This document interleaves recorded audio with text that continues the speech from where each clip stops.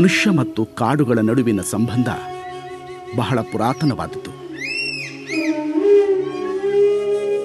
ಸ್ಮೃತಿಪೂರ್ವ ಕಾಲದಿಂದಲೂ ಬೇರೆ ಎಲ್ಲ ಮಾಧ್ಯಮಗಳಿಗಿಂತ ಪ್ರಕೃತಿ ಮಾತೆಯಿಂದಲೇ ಮಾನವನಿಗೆ ಹೆಚ್ಚಿನ ಕಲಿಕೆಯಾಗಿದೆ.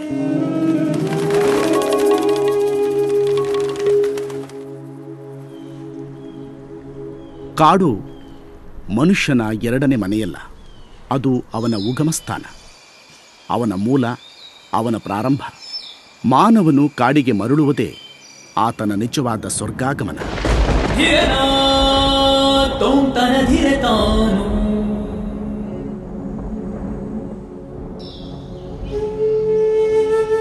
ಕರ್ನಾಟಕದ ನೆಲೆ ಮತ್ತು ಧ್ವನಿಯು ಹಸಿರು ರತ್ನಗಳಿಂದ ಅಲಂಕಾರಗೊಂಡಿದೆ.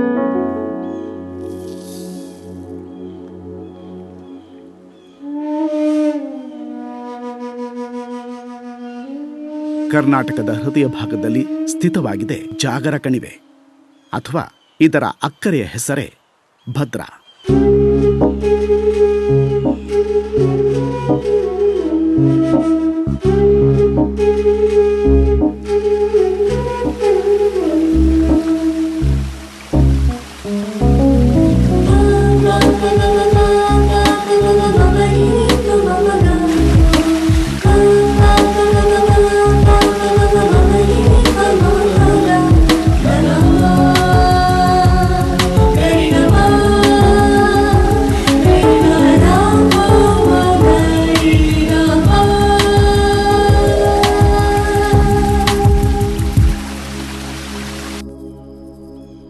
ನಿಷ್ಕಳಂಕ ನದಿಗಳಿಂದ ಧರ್ಮನಿಷ್ಠ ಮೋಡಗಳವರೆಗೆ. ಸಮೃದ್ಧ ಹಿನ್ನೀರುಗಳಿಂದ ನಿಸ್ವಾರ್ಥ ಹುಲ್ಲುಗಾವಲುಗಳ ಹಸಿರಿನವರೆಗೆ. ಒಂಟಿ ಬೆಟ್ಟವೊಂದನ್ನು ಮೋಹಕ ಮೇಲುಗಾಳಿಯು ಅಪ್ಪುವಷ್ಟು ಮನುಷ್ಯನಿಗೆ ಭದ್ರ ಎಂಬ ತೊಟ್ಟಿಲು ತುಂಬು ಹೃದಯದ ಸೌಂದರ್ಯತೆಯಿಂದ ಕೂಡಿರುವಷ್ಟು ಹತ್ತಿರವೆನಿಸುತ್ತದೆ.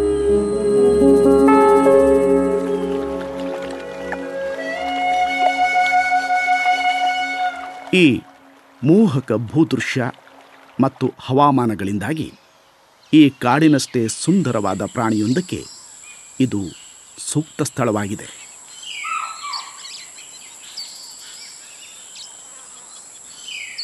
ಹೊಂಬಣ್ಣದ ರೋಮ ಹಾಗೂ ಕಡುಗಪ್ಪು ಪಟ್ಟಿಗಳಿಂದ ಅಲಂಕೃತಗೊಂಡ ಪ್ರಖ್ಯಾತ ಪ್ರಾಣಿ, ಶತಮಾನಗಳಿಂದ ತನ್ನ ಉಳಿವಿಗಾಗಿ ಹೋರಾಡಿರುವ ಪ್ರಾಣಿ. ಭದ್ರನನ್ನು ಘನತೆಯಿಂದ ಆಳುತ್ತಿರುವ ಸಮರ್ಥ ಮಾರ್ಜಾಲ. ಘನಗಂಭೀರ ಹುಲಿ.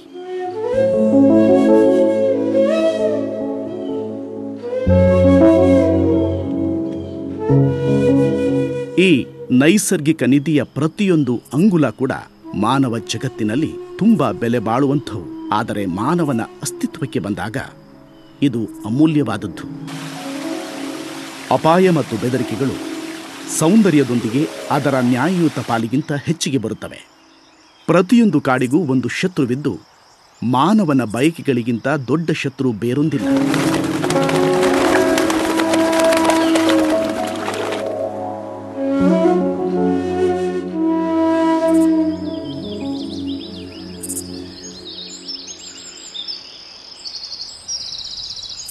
ಇದು ಒಂದು ಅಳೆಯಲಾಗದ ಸಮರ್ಪಕ ಕಾರ್ಯದ ಕಥೆಯಾಗಿದ್ದು ದೀನತೆ ಮತ್ತು ತ್ಯಾಗಗಳಿಂದ ತುಂಬಿದ ಭಾವಾಭಿನಯ.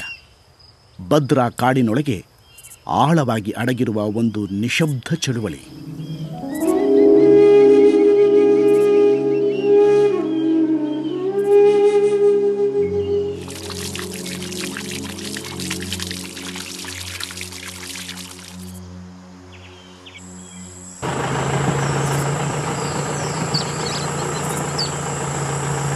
ಅರಣ್ಯದ ಮೇಲೆ ನಿಗಾ ಇಡಲು ಜೀಪ್ನಲ್ಲಿ ಗಸ್ತು ಬರುವುದು ಅತಿ ಸುಲಭವಾದ ದಾರಿ ಜೀಪ್ನ ಹಾದಿ ಅರಣ್ಯದೆಲ್ಲೆಡೆ ವ್ಯಾಪಿಸಿದ್ದು ಅರಣ್ಯ ಸಿಬ್ಬಂದಿಗಳಿಗೆ ರಕ್ಷಿತಾರಣ್ಯದ ಹೆಚ್ಚಿನ ವಿಸ್ತೀರ್ಣವನ್ನು ಬೇಗನೆ ಗಸ್ತು ತಿರುಗಲು ಸಾಧ್ಯವಾಗಿಸುತ್ತದೆ.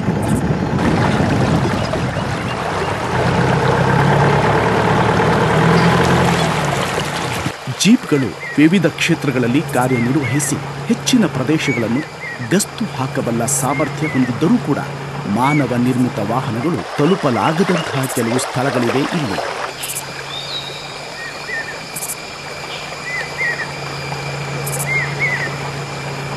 ಭೂಪ್ರದೇಶದ ಸವಾಲುಗಳು ಹೆಚ್ಚಾದಂತೆ ಗಸ್ತು ಕಾರ್ಯಗಳು ತ್ರಾಸದಾಯಕವಾಗಿರುತ್ತವೆ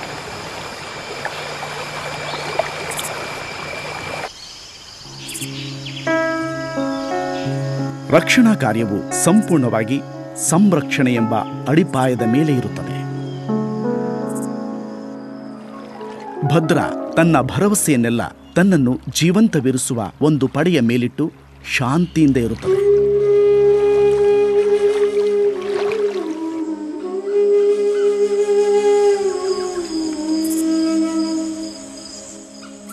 ಇಲ್ಲಿನ ಎತ್ತರದ ಹಾಗೂ ಭವ್ಯ ಮರಗಳಂತೆ ಬೇರೂರಿರುವ ಕೆಲವು ಮನುಷ್ಯರು ಭದ್ರಾದ ಸಂಪತ್ತನ್ನು ರಕ್ಷಿಸಲು ಇಲ್ಲಿನ ಅಸಾಧ್ಯ ಭೂಪ್ರದೇಶವನ್ನು ಧೈರ್ಯದಿಂದ ಎದುರಿಸುತ್ತಾರೆ.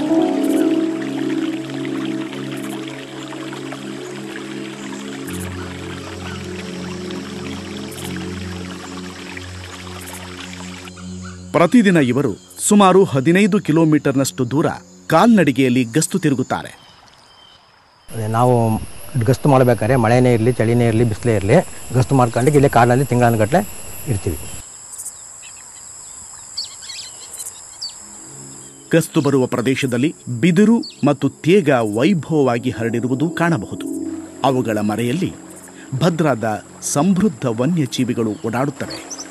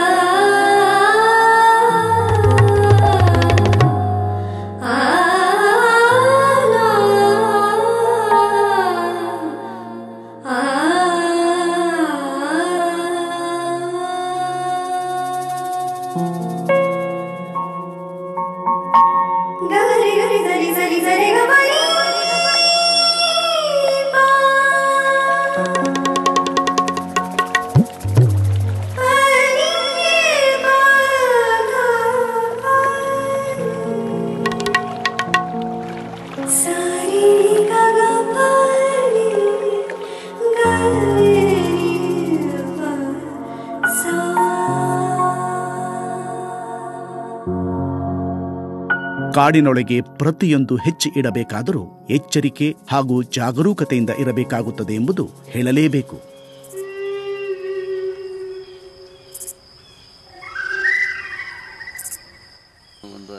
ಗೋವಿಂದರಾಜ್ ಹುಲಿಯನ್ನು ಸಮೀಪದಲ್ಲಿ ಮುಖಾಮುಖಿ ಆದಾಗಿನ ಅನುಭವವನ್ನು ಹಂಚಿಕೊಳ್ಳುತ್ತಾರೆ.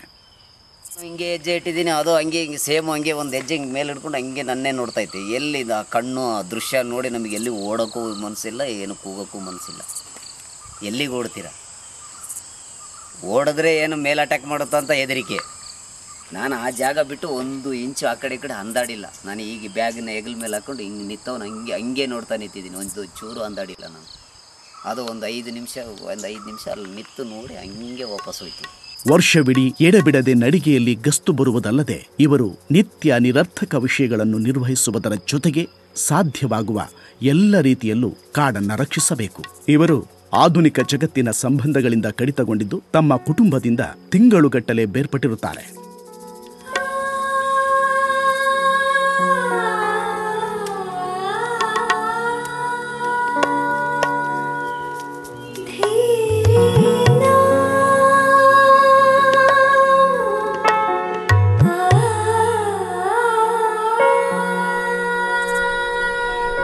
ಇಲ್ಲಿ ನೇಮಿಸಲ್ಪಡುವ ಅಧಿಕಾರಿಗಳಿಗೆ ಈ ವಿಶಾಲವಾದ ಅರಣ್ಯವನ್ನು ಸಂಚರಿಸಿ ಅದರ ಕ್ಲಿಷ್ಟಗಳನ್ನು ಅಧ್ಯಯನ ಮಾಡುವುದು ಕಷ್ಟಕರವಾದ್ದರಿಂದ ಕಾಡಿನ ಬಗ್ಗೆ ಅಗಾಧ ಜ್ಞಾನವಿರುವ ಜನರ ಅಗತ್ಯವೂ ನಿರ್ಣಾಯಕವಾಗುತ್ತದೆ.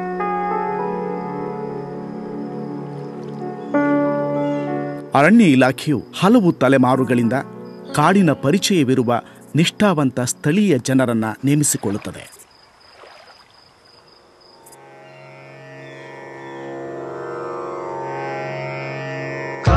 ಬಹಳ ಹಿಂದೆ ಮೈಸೂರು ಮಹಾರಾಜರ ಬೇಸಿಗೆ ಕಾಲದ ಅರಮನೆಯ ಸನಿಹದಲ್ಲೇ ಇದ್ದ ಜಾಗರದ ಭಾಗವಾಗಿತ್ತು ಭದ್ರಾ. ಜಾಗರದಲ್ಲಿನ ಹಲವಾರು ಸ್ಮರಣೀಯ ಘಟನೆಗಳ ಸಂಗತಿಗಳಿಂದಾಗಿ ಅದು ಒಡೆಯರ ಹೃದಯಕ್ಕೆ ಬಹಳ ಹತ್ತಿರವಾಯಿತು.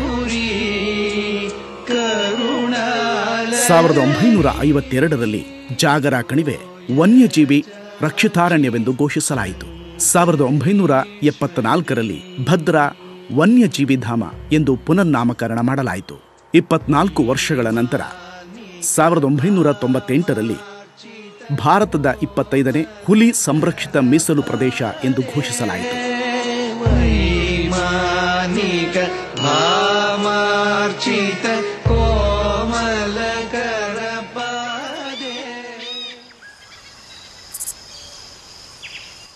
ಮೂವತ್ತಾರು ಕಳ್ಳ ಬೇಟೆ ನಿಯಂತ್ರಣ ಶಿಬಿರಗಳನ್ನು ಈ ಭದ್ರಾ ಹುಲಿ ಮೀಸಲು ಯೋಜನೆಯಡಿ ನಿರ್ಮಿಸಿದ್ದಾರೆ.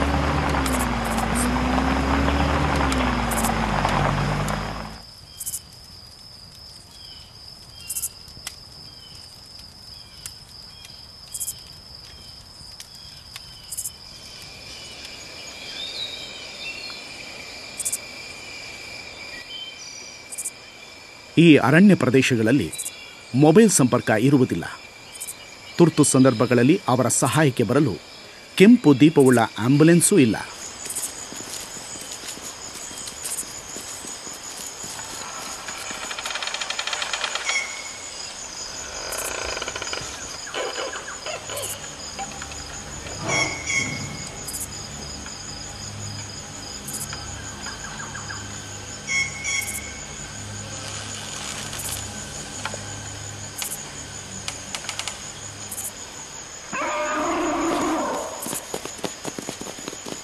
ಎಷ್ಟೋ ಸಂದರ್ಭಗಳಲ್ಲಿ ಕರುವಲ್ಲಿ ನಾವು ಹೋಗ್ತಾ ಇರ್ತೀವಿ. ಅದು ಆ ಕಡೆಯಿಂದ ಆನೆ ಆನೆ ಆಗಿರ್ಬೋದು, ಕರಡಿ ಆಗಿರ್ಬೋದು, ಹುಲಿ ಆಗಿರ್ಬೋದು, ಯಾವುದೇ ರೀತಿ ವನ್ಯಮೃಗಗಳು ಬರ್ತಾ ಇರ್ಬೋದು. ನಾವು ಹೋಗಬೇಕಾದ್ರೆ ಅದು ಬಂದಿರುತ್ತೆ, ನಾವು ಹೋಗಿರ್ತೀವಿ. ನಾವು ಯಾವುದೇ ರೀತಿ ಅದಕ್ಕೆ ತೊಂದರೆಯನ್ನು ಕೊಡೋದಿಲ್ಲ. ಅದರ ಪಾಡಿಗೆ ಅದು ಹೋಗಲಿ ಅಂತೇಳಿ ನಾವು ಬೇರೆ ಮಾರ್ಗದಲ್ಲಿ ಹೋಗ್ತೀವಿ.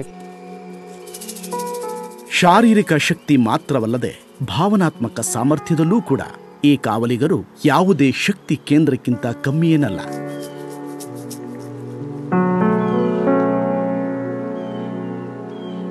ಈ ಅದ್ಭುತ ಭೂದೃಶ್ಯಗಳಲ್ಲಿ ನಿರಾಯುಧವಾಗಿ ನಡೆಯುತ್ತಿರಬೇಕಾದರೆ ಹೃದಯಕ್ಕೆ ಬೆಚ್ಚಗೆನಿಸುವ ಸ್ವರವೆಂದರೆ ಮರಗಳ ಮರ್ಮರ ಶಬ್ದ ಮಾತ್ರ.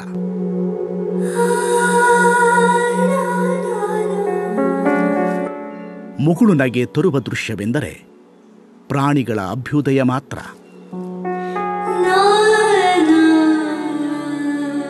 ಅವರನ್ನ ಮುನ್ನುಗ್ಗಿಸುವ ಸೊಬಗೆಂದರೆ ನದಿಗಳ ನಾದ ಶಬ್ದ ಮಾತ್ರ.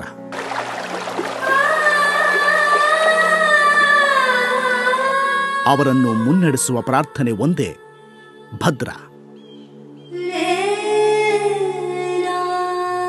ಎಲ್ಲ ಥರನಾಗಿ ನಾವು ಗಸ್ತು ತಿರುಗಬೇಕಾಗುತ್ತೆ ಏನಾದರೂ ನಾವು ಗಸ್ತು ತಿರುಗೋದಕ್ಕೆ ಹೋದಾಗ ಅಲ್ಲಿ ಸಡನ್ನಾಗಿ ಆನೆನೇ ಬರ್ಬೋದು ಅಥವಾ ಕರಡಿನೇ ಬರ್ಬೋದು ಅಥವಾ ಹುಲಿನೇ ಬರ್ಬೋದು, ಅಂತಹ ಸಂದರ್ಭಗಳನ್ನು ನಾವು ಎದುರಿಸ್ಬಿಟ್ಟು ನಾವು ಗಸ್ತು ತಿರುಗ್ತೇವೆ ಮಳೆಗಾಲದಲ್ಲಿ ನಾವು ಗಸ್ತು ತಿರುಗೋದಕ್ಕೆ ಹೋದಾಗ ಆ ಮಳೆ ಬೀಳ್ತಾನೆ ಇರುತ್ತೆ, ಜಿಗಣೆಗಳ ಕಾಟ. ತುಂಬಾ ಜಿಗಣೆ ಅಂದರೆ ಅದು ಹೇಳಂಗಿಲ್ಲ ಬಿಡಿ. ಅದು ಹೇಗಪ್ಪ ಅಂದರೆ ಒಂದು ಸರಿ ಏನಾದರೂ ರಕ್ತ ಹಿಡಿತು ಅಂದರೆ ಆ ನರಕ್ಕೆ ಹಿಡಿದು ರಕ್ತ ಕೀಳ್ತು ಅಂದರೆ ಆ ಪ್ರ- ಪ್ರದೇಶದಲ್ಲಿ ರಕ್ತ ಬರ್ತಾನೆ ಇರುತ್ತೆ. ಒಂದು ಜಿಗಣೆ ಐದರಿಂದ ಹತ್ತು ಎಂ ಎಲ್ ರಕ್ತ ಇರುತ್ತಂತೆ ಅದೇ ರೀತಿ ನಮ್ಮ ಮೈ ಮೇಲೆ ಐವತ್ತರಿಂದ ಅರವತ್ತು ಜಿಗಣೆಗಳು ಮೆತ್ಕೊಂಡಿರ್ತವೆ. ಅಲ್ಲಿ ಇನ್ನೂರೈವತ್ತು ಎಂ ಎಲ್ ರಕ್ತ ಆಯಿತು. ಒಂದು ದಿನದಲ್ಲಿ ಇನ್ನೂರೈವತ್ತು ರಕ್ತ ಹೋಯಿತು ಅಂದರೆ ಹೆಚ್ಚು ಕಡಿಮೆ ಮಳೆಗಾಲದಲ್ಲಿ ಐದರಿಂದ ಆರು ತಿಂಗಳು ಮಳೆ ಸುರಿತಾನೆ ಇರುತ್ತೆ. ಐದರಿಂದ ಆರು ತಿಂಗಳು ಜಿಗಣೆಗಳು ಇದ್ದೇ ಇರುತ್ತೆ. ತಮ್ಮ ಮನೆ, ಸುಖ ಮತ್ತು ಸೌಕರ್ಯಗಳನ್ನು ತೊರೆದು ಆ ಲಕ್ಷಾಂತರ ಜೀವಿಗಳ ಮನೆಗಳ ಸಂರಕ್ಷಣೆಗಾಗಿ ಇವರು ಶ್ರಮಿಸುತ್ತಿದ್ದಾರೆ.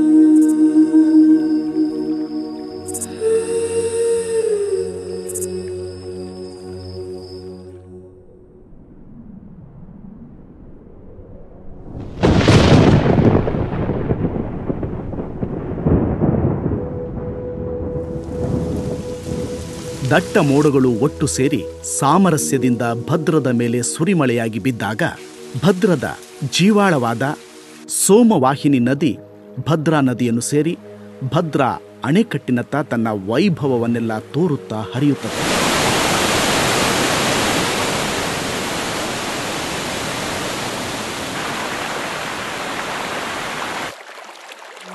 ಈ ಅಣೆಕಟ್ಟಿನ ಪೂರ್ಣತೆಯು ಭದ್ರಾದ ಪುಷ್ಕಳ ಹಿನ್ನೀರನ್ನ ಹೆಚ್ಚಿಸುತ್ತದೆ. ಈ ಅದ್ಭುತವು ಕಣ್ಣಿಗೆ ಹಬ್ಬ ಮಾತ್ರವಲ್ಲ, ಇದು ಜವಾಬ್ದಾರಿಯಿಂದ ಕಣ್ಣನ್ನ ಕೆಂಪಾಗಿಸುತ್ತದೆ.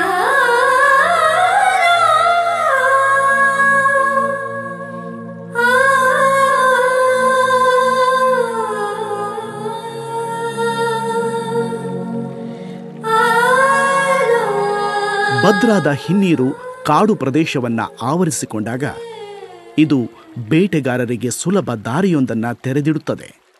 ಮಳೆಗಾಲದಲ್ಲಿ ಜಾಸ್ತಿ ಪ್ರೊಟೆಕ್ಷನ್ಗೆ ಪ್ರಾಮುಖ್ಯತೆ ಕೊಡ್ತೀವಿ. ಯಾಕಂದರೆ ಮಳೆಗಾಲ ಡ್ಯಾಮ್ ಫುಲ್ ಆಗಿ ಕಾಡಿಗೆ ನೀರು ಟಚ್ ಆಗುತ್ತೆ. ಆವಾಗ ಪೋಚಿಂಗು ಹಂಟಿಂಗ್ ಮಾಡೋರಿಗೆಲ್ಲ ಭಾರಿ ಸುಲಭ ಅವರಿಗೆ.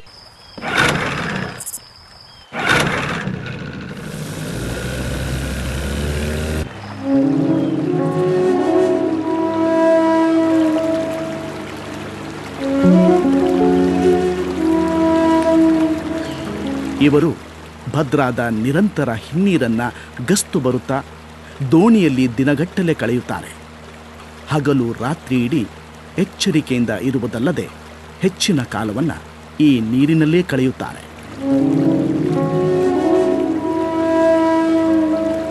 ಬೇಟೆಗಾರಿಕೆಯ ಕರಾಳತೆಯಿಂದ ಭದ್ರವನ್ನು ರಕ್ಷಿಸಲು ಅದರ ಮಬ್ಬಾದ ಹಿನ್ನೀರಿನಲ್ಲಿ ದೋಣಿಯಲ್ಲಿ ಗಸ್ತು ಬರುವುದೇ ಬೆಳಕು ಚೆಲ್ಲಲು ಅತೀ ವಿಶ್ವಸನೀಯ ಮೂಲ.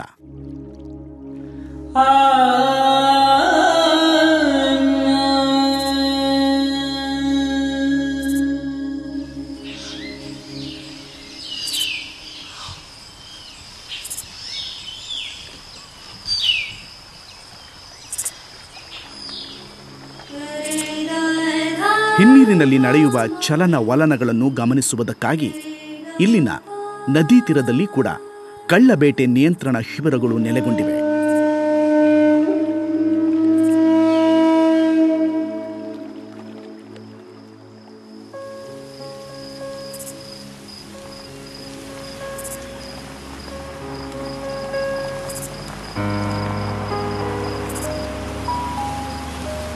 ಭದ್ರಾದ ಮರಗಳು ಲಾಲಿತ್ಯದಿಂದ ಎಲೆಗಳನ್ನು ಉದುರಿಸುತ್ತಿದ್ದಂತೆ ಚಳಿಗಾಲದ ಪ್ರಾರಂಭದಲ್ಲಿ ಕಾಡಿನಲ್ಲಿ ಒಂದು ಹಬ್ಬದ ವಾತಾವರಣ ತುಂಬಿಕೊಳ್ಳುತ್ತದೆ.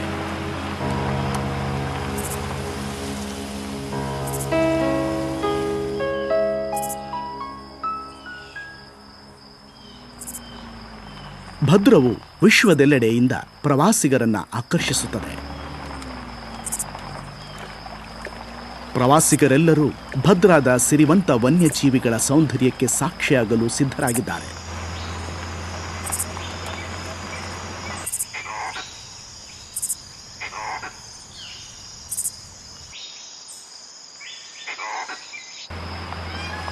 ಪ್ರವಾಸಿಗಳು ಮತ್ತು ವನ್ಯಜೀವಿ ಉತ್ಸಾಹಿಗಳಲ್ಲದೆ ಇಲಾಖೆಯು ನೂರಾರು ಸ್ವಯಂ ಸೇವಕರನ್ನು ಹುಲಿಗಳ ಎಣಿಕೆಯಂತಹ ಸೌಹಾರ್ದದ ಕಾರ್ಯದಲ್ಲಿ ಭಾಗಿಯಾಗಲು ಆಮಂತ್ರಿಸುತ್ತದೆ.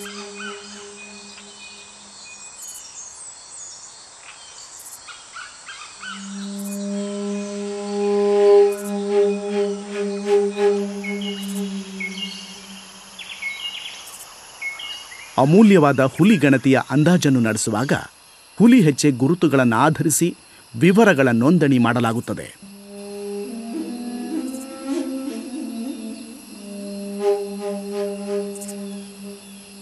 ಹುಲಿಗಳು ರಾತ್ರಿಯ ವೇಳೆ ಚಟುವಟಿಕೆಯುಳ್ಳ ಹಾಗೂ ಒಂಟಿಯಾಗಿರುವ ಪ್ರಾಣಿ ಆಗಿರುವುದರಿಂದ ಮಾನವರಿಗೆ ಅವುಗಳನ್ನು ವೀಕ್ಷಿಸಲು ಮತ್ತು ಅವುಗಳನ್ನು ಪ್ರತ್ಯೇಕವಾಗಿ ಗುರುತಿಸಲು ಕಷ್ಟ. ಮಾನವನ ಬೆರಳಿನ ಗುರುತಂತೆ ಹುಲಿಗಳಲ್ಲೂ ಕೂಡ ಅನನ್ಯತೆ ಇದೆ. ಪ್ರತಿ ಹುಲಿಗೆ ಅದರದ್ದೇ ಆದ ಪ್ರತ್ಯೇಕ ಪಟ್ಟಿಯ ವಿನ್ಯಾಸ ಇರುತ್ತದೆ. ಈ ಅಭಯಾರಣ್ಯದಲ್ಲಿ ಕನಿಷ್ಠ ಸಂಖ್ಯೆಯಲ್ಲಿರುವ ಈ ಹುಲಿಗಳ ಸಂಖ್ಯೆಯನ್ನು ನಿರ್ಧರಿಸಲು ಇಲಾಖೆ ಕ್ಯಾಮೆರಾ ಟ್ರಾಪ್ ವಿಧಾನವನ್ನು ಅಳವಡಿಸಿಕೊಂಡಿದೆ.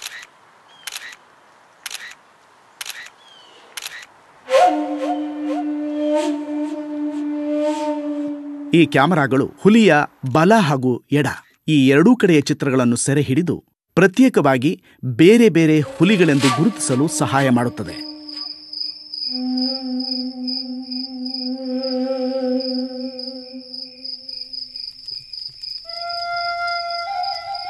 ಚಳಿಗಾಲದ ರಾತ್ರಿಯಂದು ಭದ್ರಾದ ಕಳ್ಳಬೇಟೆ ನಿಯಂತ್ರಣ ಶಿಬಿರಗಳ ಸಿಬ್ಬಂದಿಗಳು ಬೆಂಕಿಯ ಸುತ್ತ ಬೆಚ್ಚಗೆ ಒಡನಾಟದಿಂದ ಕೆಲವು ಮಾತುಗಳನ್ನಾಡುತ್ತಾ ಹರ್ಷದಿಂದಿರುತ್ತಾರೆ. ಶೀಘ್ರದಲ್ಲೇ ಭದ್ರದ ಅತಿ ಕ್ರೂರ ಋತುವಿನ ಆರಂಭದೊಂದಿಗೆ ಈ ಭಾಗ್ಯವನ್ನು ಅವರಿಂದ ಕಸಿದುಕೊಳ್ಳಲಾಗುತ್ತದೆ.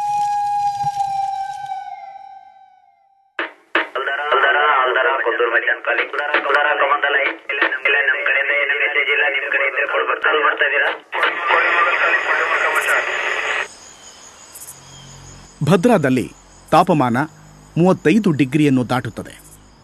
ಐನೂರು ಚದುರ ಕಿಲೋಮೀಟರ್ಗಳ ಹಚ್ಚ ಹಸಿರು ಸಮೃದ್ಧವಾದ ಕಾಡು. ಎಲ್ಲೋ ದೂರದ ಸಣ್ಣ ಕೆಡಿಯೊಂದರಿಂದ ಬೆಂಕಿ ಹತ್ತಿಕೊಳ್ಳಬಲ್ಲ ಕಟ್ಟಿಗೆಯ ರಾಶಿಯಂತೆ ರೂಪಾಂತರಗೊಳ್ಳುತ್ತದೆ.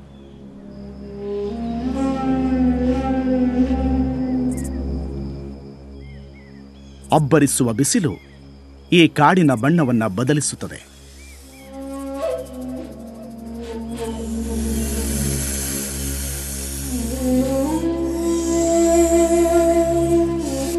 ನಮ್ಮ ಭಾರತದ ಹೆಬ್ಬಾವಿನ ಬಣ್ಣವು ಒಣಗಿದ ಎಲೆಗಳಂತೆ ಇರುವುದರಿಂದ ಈ ಬೇಸಿಗೆಯಲ್ಲಿ ಹೆಬ್ಬಾವಿಗೆ ಬೇಟೆಯಾಡಲು ಸುಲಭವಾಗುತ್ತದೆ.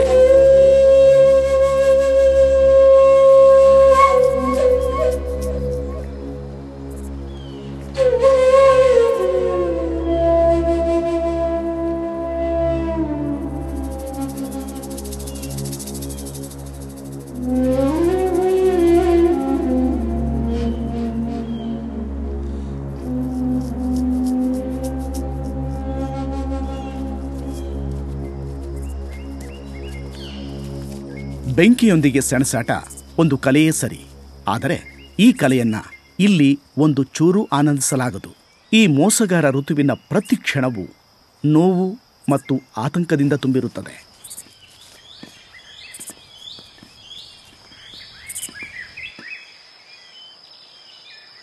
ಅರಣ್ಯದ ನಿರ್ಣಾಯಕ ಸ್ಥಳಗಳಲ್ಲಿ ವೀಕ್ಷಣಾ ಗೋಪುರಗಳನ್ನು ಸ್ಥಾಪಿಸಲಾಗುತ್ತದೆ. ಅದರಿಂದ ಇಡೀ ಅಭಯಾರಣ್ಯವನ್ನು ವೀಕ್ಷಿಸಬಹುದು.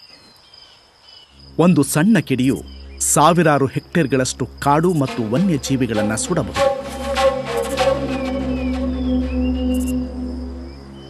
ಭಾರಿ ಕಷ್ಟ ಆಗ್ತದೆ ಸರ್, ಅದು ಬೆಂಕಿ ಹೊತ್ಕೊಂಡ್ಮೇಲೆ ಕೆಡ್ಸೋದು ಮಾತ್ರ. ನಾವು ಎಷ್ಟು ಕಷ್ಟಪಟ್ಟು ಕಾಯ್ತೀವಿ ಅಷ್ಟೇ ನಮಗೆ ಇದು ಒಂದು ಕಷ್ಟ ಬೈದು ಓಡಾಡ್ಕೊಂತ, ನೋಡ್ಕೊಂತ. ಆ ಬೆಂಕಿ ಬಿದ್ದಾಗ ಕೆಡ್ಸೋದು ಮಾತ್ರ ಭಾರಿ ಕಷ್ಟ ಆಗ್ತದೆ ಸರ್. ಬೆಳಿಗ್ಗೆ ಹತ್ತು ಗಂಟೆ, ಒಂಬತ್ತು ಗಂಟೆಗೆ ನಾವು ಆನೆಗುಂಡಿ ಕಾಲಾಗಿ ಇಳಿದಿದ್ದು ಆ ಕಡೆ ಕೂಟ್ರೋಡಿಗೆ ಹೋಗೋತ್ತಿಗೆ ನಾಲ್ಕೂವರೆ ಆಯ್ತು, ಊಟ ಇಲ್ಲ ಏನಿಲ್ಲ. ನಾಲ್ಕೂವರೆ ಆಗೋ ಅಷ್ಟೊತ್ತಿಗೆ ನಾಲ್ಕು ಐದು ಜನ ಫಾರೆಸ್ಟ್ರು ಬಿದ್ದೋದ್ರು ಅತಿ ಇಲ್ಲ ಗುಡ್ಡನ. ಪ್ರಾಣಿಗಳು ಸುಮಾರು ಈ ಬರ್ಕ, ಈ ಬರ್ಕಗಳು, ಕಡೆಗಳು ಅರ್ಧ ಸುಟ್ಕೊಂಡು ಓಡೋಗೋದು. ಪ್ರಾಣಿ ಸತ್ತೋಗಿದ್ದಾವೆ, ಅರ್ಧ ಸುಟ್ಕೊಂಡು. ನೀರಿರಲ್ಲ, ನಿಡಿರಲ್ಲ ಕುಡಿಯೋಕೆ ನೀರಿರಲ್ಲ, ಜನ, ಎಷ್ಟೋ ಜನ ಅವಾಗ ಒಂದೇ ದಿವಸಕ್ಕೆ ಎದೆ ಉರಿ ಎದೆ ಉರಿ ಅಂತೇಳಿ ವಾಪಸ್ ಹೋದ್ರು ಸರ್, ಕರ್ಕೊಂಡು ಹೋಗ್ಬಿಟ್ರು ಆಲ್ದರದಿಂದ ಕರ್ಕೊಂಬಂದರಿಗೆ ಮತ್ತೆ ಮೂರು ದಿವಸ ಮೂರು ದಿವಸ ಬೆಂಕಿ ಕೆಡಿಸಿದ್ರೆ ಲೆಟ್ರಿನಿಗೆ ಹೋಗೋಕ್ಕಾಗಲ್ಲ ಸರ್, ಲೆಟ್ರಿನ್ ಬರಲ್ಲ ಮೂರು ದಿವಸ, ಏನು ತಿನ್ನೋಕ್ಕಾಗಲ್ಲ. ಬೆಂಕಿ ತಗ್ ನಿಂತು ಸೀದೋಗಿರ್ತೀವಿ ಸರ್ ನಾವಲ್ಲಿ. ಅದು ನೋಡೋಕ್ಕಾಗಲ್ಲ ಬೆಂಕಿ ತಗ ಮೂರು ಸಣ್ಣ ನಿಂತ್ಕೊಂಡ್ರೆ ಮತ್ತೆ ಲೆಟ್ರಿನ್ ಬರೋಲ್ಲ, ಏನಿಲ್ಲ.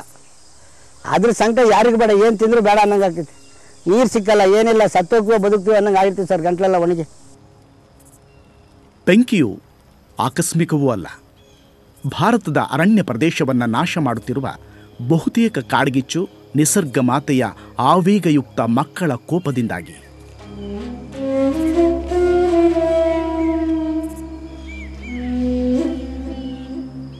ಭದ್ರವು ಕಾಡಿನ ನಿಜವಾದ ಮಹತ್ವವನ್ನು ಅರಿಯದ ಜನಸಾಮಾನ್ಯರಿಂದ ಸುತ್ತುವರಿದ ಸೂಕ್ಷ್ಮ ವಲಯದಲ್ಲಿ ಇದ್ದರೂ ಕೂಡ ಹಲವಾರು ಬೇಸಿಗೆಗಳಿಂದ ಭದ್ರದಲ್ಲಿ ಕಾಡ್ಗಿಚ್ಚು ಕಾಣಿಸಿಕೊಂಡಿಲ್ಲ. ಸಿಬ್ಬಂದಿಗಳ ಪರಿಶ್ರಮ ಮತ್ತು ಸಮರ್ಪಣೆ ಹಾಗೂ ಗ್ರಾಮಸ್ಥರ ಹೃದಯದಲ್ಲಿರುವ ಕಾಳಜಿಯೇ ಇದಕ್ಕೆ ಕಾರಣವೆನ್ನಬಹುದು.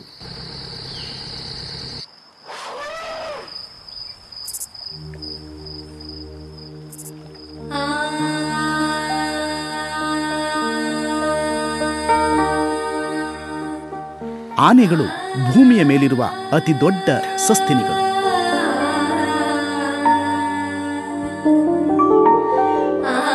ಮಾನವರಂತೆ ಅವುಗಳೂ ಕೂಡ ಸಾಮೂಹಿಕ ಜೀವಿಗಳು ಮತ್ತು ಅವು ಗುಂಪಿನಲ್ಲೇ ಚಲಿಸುತ್ತವೆ.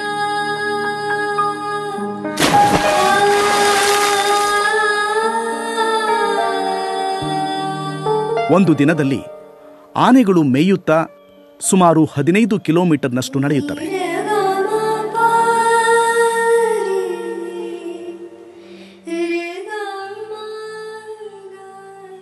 ಅರಣ್ಯದ ಗಡಿಭಾಗದ ಬಳಿ ಮೇಯುತ್ತಿರಬೇಕಾದರೆ ಕಾಡಿನ ಹೊರಗೆ ರೈತರು ಬೆಳೆದ ಅವುಗಳ ಮೆಚ್ಚಿನ ಬೆಳೆಗಳಾದ ಕಬ್ಬು, ಜೋಳ ಮತ್ತು ಬಾಳೆ ಅವುಗಳನ್ನು ಸೆಳೆಯುತ್ತವೆ.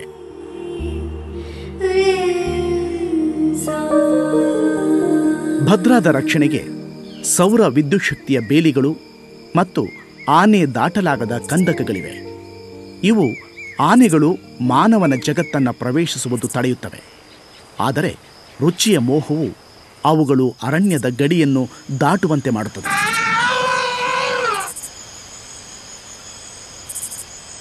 ಆನೆಗಳಿಗೆ ಪ್ರಿಯವಾದ ಬೆಳೆಗಳನ್ನು ಬೆಳೆಸುವುದು ಬೇಡ ಎಂದು ರೈತರಿಗೆ ಸಲಹೆ ಕೊಡುವುದಲ್ಲದೆ ಪರಿಸರ ಅಭಿವೃದ್ಧಿ ಸಮಿತಿಯು ಅಭಯಾರಣ್ಯದ ಸುತ್ತಲೂ ಇರುವ ಗ್ರಾಮಗಳೊಂದಿಗೆ ಸೌಹಾರ್ದ ಸಂಬಂಧ ಬೆಳೆಸಲು ಶ್ರಮಿಸುತ್ತದೆ.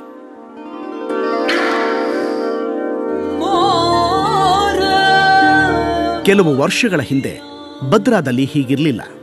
ಇದನ್ನು ರಕ್ಷಿತಾರಣ್ಯ ಎಂದು ಘೋಷಿಸುವ ಮೊದಲು ಅರಣ್ಯದ ಒಳಗೆ ಹಲವಾರು ಸಣ್ಣ ಸಣ್ಣ ಹಳ್ಳಿಗಳಿದ್ದವು. ಚಿಕ್ಕಮಂಗ್ಳೂರಿಗೆ ಹೋಗಿ ಬರ್ತಕ್ಕಂಥದ್ದು ಅಂದರೆ ಭಾರಿ ಕಷ್ಟದ ಕೆಲಸ ಆಗಿರ್ತಿತ್ತು. ಮಳೆಗಾಲದಲ್ಲಿ ಆರು ತಿಂಗಳು ಹೊಳೆ ಬಂದುಬಿಟ್ಟು ಯಾವುದೇ ಸಾಗಾಣಿಕೆಗಳು, ಚಟುವಟಿಕೆಗಳು ನಗರದ ಸಂಪರ್ಕನೇ ಕಡಿತ ಆಗ್ತಾಯಿತ್ತು ಮತ್ತೆ ಆರು ತಿಂಗಳಲ್ಲಿ ನೀರು ಕಡಿಮೆ ಆಗೋದ್ರಿಂದ ಹಳ್ಳನ ದಾಟಿ ಬರ್ತಾ ಇದ್ದು, ಹೋಗಿ ಬರೋದಕ್ಕೆ ಆನೆಗಳ ಕಾಟ ಕಾಡುಕೊಣಗಳ ಕಾಟ, ಎಲ್ಲ ಅದು ಆಗಿ ಸ್ವಲ್ಪ ಕಷ್ಟ ಆಗ್ತಾ ಇತ್ತು. ಸಾವಿರದ ಒಂಬೈನೂರ ತೊಂಬತ್ತ ಎಂಟು, ತೊಂಬತ್ತೊಂಬತ್ತರಲ್ಲಿ ಒಬ್ಬ ಅಧಿಕಾರಿ ಬಂದುಬಿಟ್ಟು, ನೀವು ಯಾವತ್ತಿದ್ರೂ ಇದು ಸ್ಥಳಾಂತರ ಆಗ್ತಕ್ಕಂಥದ್ದು. ಸ್ಥಳಾಂತರ ಆಗಲಿಲ್ಲ ಅಂದ್ರೂ ನಿಮಗೆ ಯಾವುದೇ ಸೌಲಭ್ಯವನ್ನು ಸರ್ಕಾರ ಕೊಡೋದಿಲ್ಲ. ಹಾಗಾಗಿ ನಿಮ್ಮ ಮಕ್ಕಳಿಗೆ ಎಜುಕೇಷನ್ ಆಗಲಿ, ನೀವು ಈ ಕಾಡಿನ ಮಧ್ಯೆ ಬದುಕೋದಕ್ಕಿಂತ ನಾಗರಿಕ ಪ್ರಪಂಚದಲ್ಲಿ ಬದುಕಿ ನಿಮಗೆ ಸವಲತ್ತನ್ನು ಕೊಡ್ತೀವಿ ಅಂತ ಹೇಳಿದರು. ಭಾವನೆಗಳು ಮತ್ತು ಗೃಹವಿರುವ ಮಾನವರನ್ನು ಉತ್ತೇಜಿಸುತ್ತವೆ. ಪ್ರಾಣಿಗಳ ಆಶ್ರಯಕ್ಕಾಗಿ ಸಾವಿರಾರು ಕುಟುಂಬಗಳನ್ನು ತಮ್ಮ ಮನೆಗಳನ್ನು ಬಿಟ್ಟು ಹೋಗಲು ಹೇಳಿದಾಗ ಅವರು ಕಳವಳಗೊಳ್ಳುವುದು ಸಹಜ.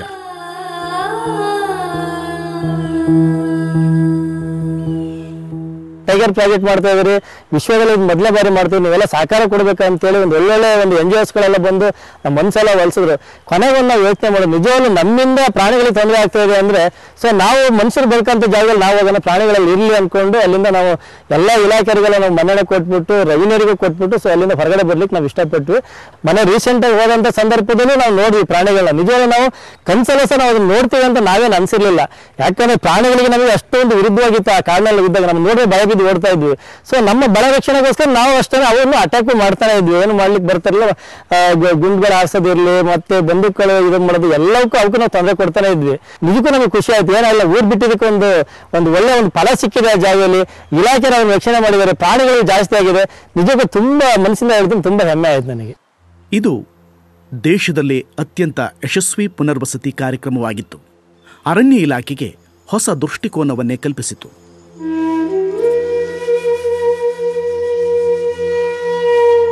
ಮಾನವನ ಪ್ರತಿಯೊಂದು ಭಾವವನ್ನು ತಾಳ್ಮೆ ಮತ್ತು ಎಚ್ಚರಿಕೆಯಿಂದ ಎದುರಿಸಬಹುದು. ಪ್ರಕೃತಿಯು ತನ್ನ ಬಳಿ ಇರುವುದೆಲ್ಲವನ್ನೂ ನಮಗೆ ನೀಡುವುದಲ್ಲದೆ ನಮ್ಮ ಆವೇಶದ ಏಟುಗಳನ್ನು ಕೂಡ ಸಹಿಸಿಕೊಳ್ಳುತ್ತದೆ.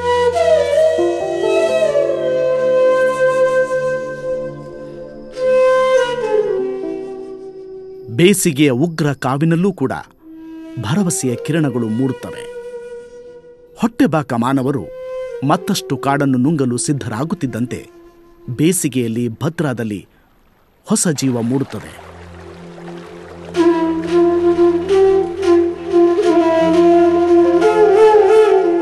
ಹಿನ್ನೀರು ಕುಗ್ಗುತ್ತಿದ್ದಂತೆ ಒಂದು ಸಣ್ಣ ದ್ವೀಪ ಮೂಡುತ್ತದೆ. ಹಾಗೂ ಈ ದ್ವೀಪದ ಮೇಲೆ ಸಾವಿರಾರು ರಿವರ್ಟನ್ ಹಕ್ಕಿಗಳು ಬಂದು ಸೇರುತ್ತವೆ.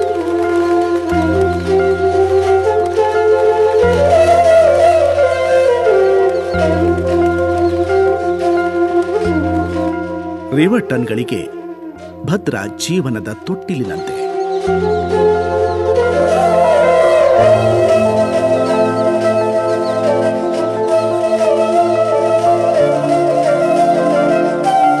ಅವುಗಳು ಇಲ್ಲೇ ಗೂಡು ಕಟ್ಟೋದು.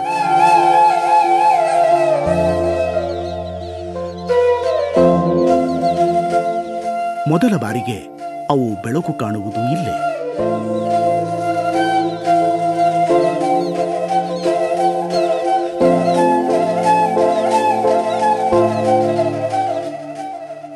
ಇಲ್ಲಿಯೇ ಅವು ಬದುಕಲು ಕಲಿಯುತ್ತವೆ ಮತ್ತು ಆಕಾಶವನ್ನು ತಬ್ಬಲು, ಹಾರಲು ಕಲಿಯುವುದೇ ಇಲ್ಲಿ.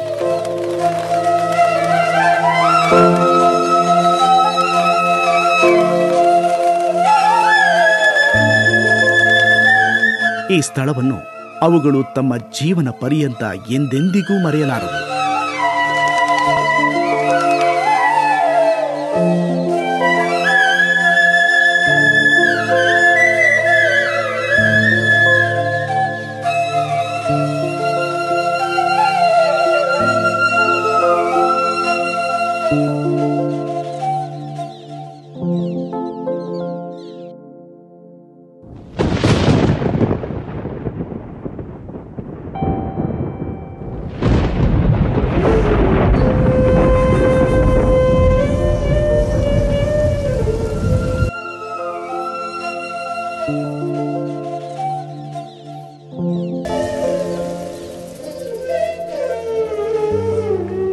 ಮಾನವ ಮತ್ತು ಪ್ರಕೃತಿ ಮಾತೆ ನಡುವಿನ ಬಂಧನವನ್ನ ವಿವರಿಸಲು ಕಷ್ಟ ಹಾಗೂ ಅರಿತುಕೊಳ್ಳಲು ಇನ್ನೂ ಕಠಿಣ. ಇಲ್ಲಿಯೇ ಅವನು ವಾಸನೆ ಗ್ರಹಿಸಲು, ನೋಡಲು, ನಡೆಯಲು, ಕನಸು ಕಾಣಲು, ಮಾತನಾಡಲು ಮತ್ತು ಬದುಕಲು ಕಲಿತಿದ್ದು. ಅವನ ಆತ್ಮ ಇಲ್ಲಿಗೇ ಸೇರಿತು ಪ್ರತಿಯೊಂದು ಕಥೆಯ ಆರಂಭ ಇಲ್ಲೇ ಮತ್ತು ಪ್ರತಿ ಕಥೆಯ ನಿಜವಾದ ಅರ್ಥ ಇಲ್ಲಿಯೇ ಸಿಗುವುದು.